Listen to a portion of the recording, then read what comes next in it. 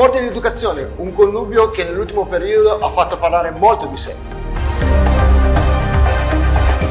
Con Nino De Gregorio, uomo di sport, abbiamo chiacchierato e parlato di questa situazione particolare che ha coinvolto anche la cronaca.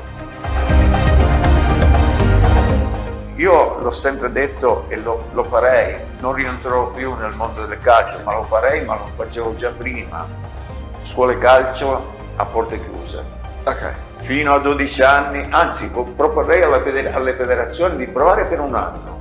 Mm-hmm. Lo provo. Scuole calcio a porte chiuse, tu porti il bimbo, eh, lo rivieni a prendere e buono, e ti si, ti si interessi. Per sapere di più, intervista martedì 2 aprile 2024 alle ore 21 su ONTV Web.